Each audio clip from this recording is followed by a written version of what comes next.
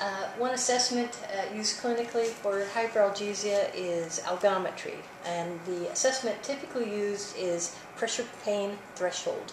Um, with the algometer, it has an applicator tip of about one centimeter squared, um, and that is typically applied uh, at the tissue uh, perpendicular to the tissue. Um, the patient's response, they're told to tell the therapist when the pressure turns to pain. And we want the exact point when uh, pressure turns to pain. So this is applied at a slow, steady rate.